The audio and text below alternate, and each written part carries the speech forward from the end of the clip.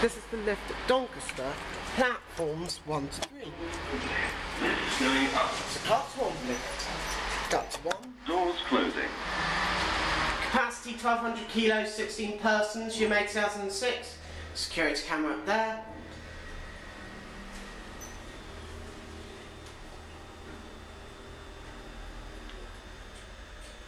Here we are at the platform, floor one. Doors opening. Get back down to subway. Doors closing.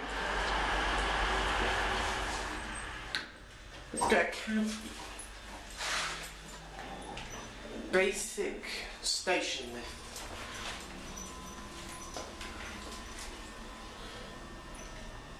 We are back at G, subway.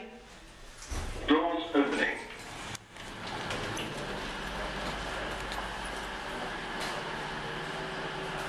Doors closing.